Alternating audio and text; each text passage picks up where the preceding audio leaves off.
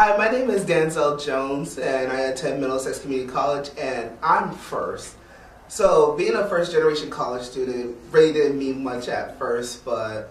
as I continue to do my education and learning about the different resources that I have availability to, uh, have the access to actually, I'm able like to gain more knowledge about being a first generation student and knowing that I'm not the only one that's just a first generation students. Like there's people all over the world that are first in their families to go to college. So my advice to you is that don't lose hope that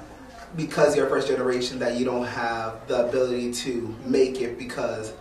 no matter what your race is, what your identity is, but being a first generation college student opens that door for you and you have so many opportunities out there.